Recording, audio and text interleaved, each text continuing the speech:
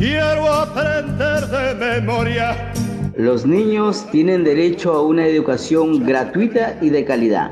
Recuerda que es la mejor herencia que le puedes dejar a tu hijo. En caso de bullying, maltrato o acoso escolar, tu amigo estudiante o tu padre de familia puedes denunciarlo en la demuna de tu localidad o en la página del Ministerio de Educación si se ve. Sí se ve. Sí se ve.